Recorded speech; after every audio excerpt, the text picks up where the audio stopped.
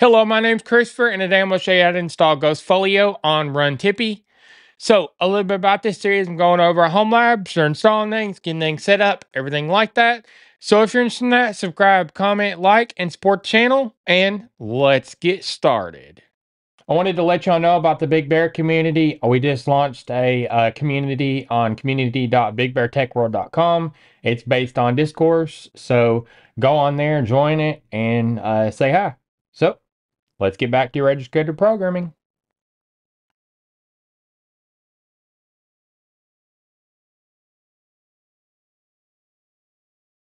So this is what I'll be installing today. Ghostfolio. It's open source wealth management software. It's built on Angular, Nest.js, Prisma, NX, and TypeScript.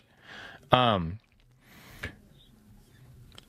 it has quite a few features, and this is why to use it trading stocks, ETFs, or cryptocurrencies on multiple platforms, per- pursuing a buy and hold strategy, interested in getting insights of your portfolio composition, a value in privacy and data ownership, in- into a minimalism. Um, here's some features down here create, update, and delete transactions, multi count uh, management, portfolio performance, various charts. And this is what it looks like on mobile side. Um, so that's what we will be installing today on Runtipi. So now I'm gonna start on the Runtipi App Store. I'm gonna go over the search and type Ghost, and then now uh, apps, and then Ghostfolio comes up right here. So now the metadata is what you see in the App Store. So the, uh, the description, and then the logo, and then the config.json down here uh, explains things for the App Store. So, so the name, the container port is 3333, and then available, exposable, the ID, the Tipi version, and then the version, and then the categories, a description, short description, and the author source.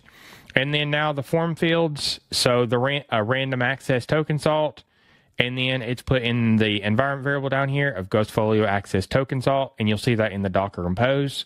And then uh, same with the JSON Web Token secret key down here, and the database password and the Redis password. And then now the supported architectures that the Docker image supports are ARM64 and AMD64. And then now if we go over to the Docker Compose right here, um, so a version 3.9 of Docker Compose file format's being used. I'm going to set some services, and then the first service underneath the services is called Ghostfolio. The container name is going to be called Ghostfolio. The image is coming off of Docker by default because there's no URL before this, and it's coming off. Uh, uh, it, it that this is the Docker image, and then this is the Docker image tag. Um, restart unless stop. So that means if you stop it for any reason, it will not try to restart. But if it fails any other reason, then it'll try to restart. And then the ports, so so the app port is going to be the proxy port. So it, it's going to proxy in the container with uh, Traefik down here.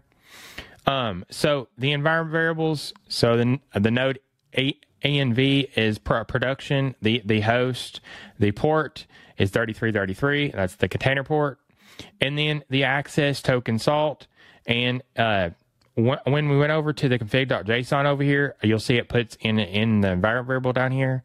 So so that rhymes with this right here.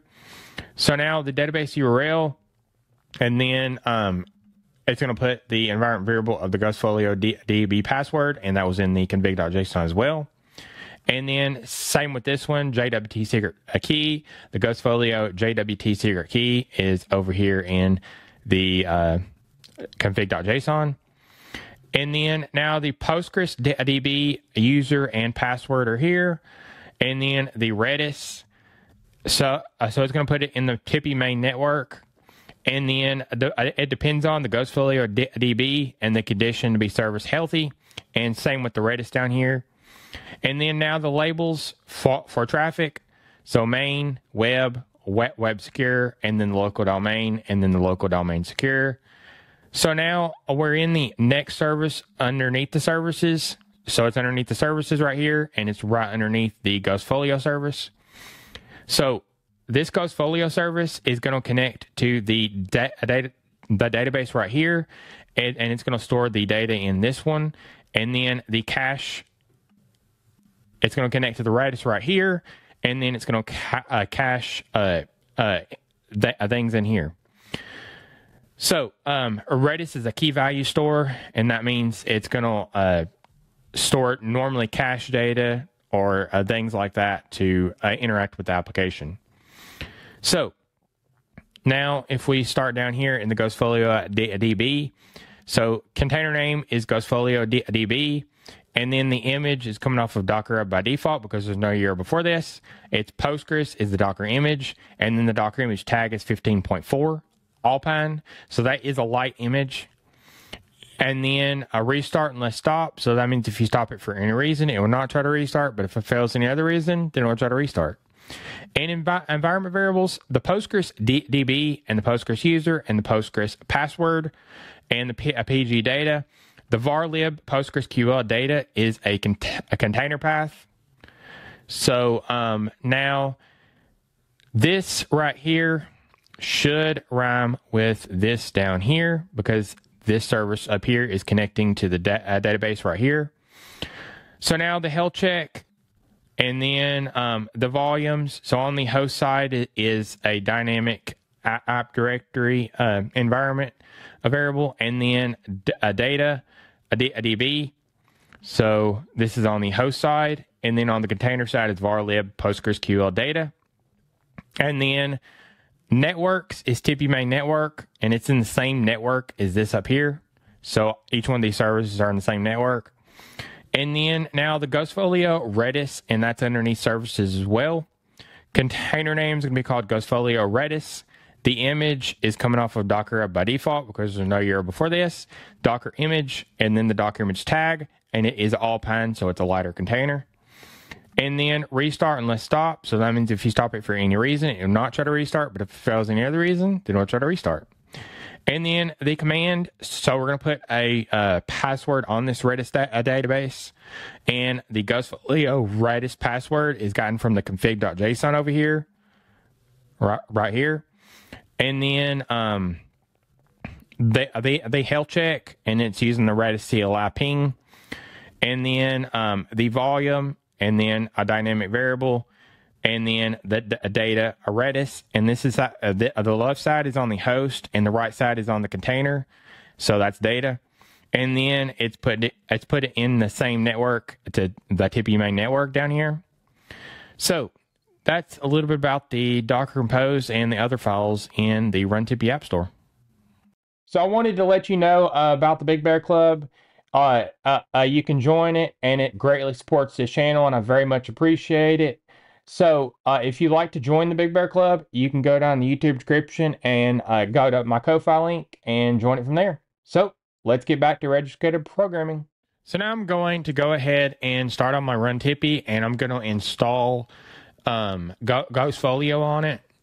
So I'm going to go over to App Store, and then I'm going to search for Ghost, and then now you see Ghostfolio right here. So I'm going to click it, and then um, you'll see all the base info that was in the config.json, oh, well, some of it. And um, I'm going to go ahead and install and then install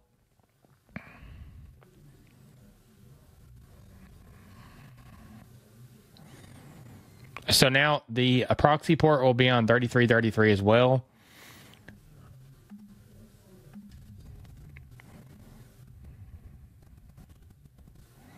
This could take a little bit to install. So now we got app Ghostfolio installed successfully. So we got it up and running. So now I'm going to go over the Run Runtipi options on the UI. So if you go to the My Apps up here and you go to Ghostfolio, you can stop the cont- uh, container and then you can open into the container into the IP right here you can go to settings and you can display on guest dashboard and you can expose the app and you can also update and reset the app. So, so you press update when you check mark one of these. Um, so when you stop it, it'll say all your data is retained and you stop. And then it could take a little bit to stop it. And then now it's successfully stopped. So now you can start and remove the, uh, the app completely and you still have the settings over here. So just start it back up and you'll be good to go. So now I'm going to show you a little bit about the uh, Ghostfolio UI. So I'm going to go to my apps and then you can go into your app like this and then you can go open and then go to the IP right here. So now you get this uh, a web page right here. So I'm going to go ahead and get started up here and then now create an account. And then now you have the security token right here. So I'm going to copy it. Then I'm going to agree and continue. So, so now with that security token, you need to put it in a safe split a place. So I'm going to go back over there to the uh, user icon up here, log out, and then now I'm going to sign in again. So now this is where you'll need your security token, and then you can stay signed in right here, check mark it, then sign in. So now we're back in. So make sure you keep that security token uh, somewhere safe. And then now you can set up accounts right here. So, so you have one account set up already. So you can go ahead and edit it. And then you can add a cash balance and then um, set, save. So now we have one account in there. So we can add another account like testing account. And then now we can add a cash balance in there. You can also change the currency and the notes and exclude from analysis right here. So I'm to save. So now we have a my account and we have a testing account. So we can go up here to transfer cash balance. And then you can go from the testing account to the my account and then put a value in that you want to transfer and then transfer. And then now you can see it did change and um, so now you can go to overview and then you can see right here your performance. And then you can go to holdings and you can manage activity and you can add a activity in here for the my account. And then um, you can save down here. Um, you can go into the activities right here like we were before and then the allocations.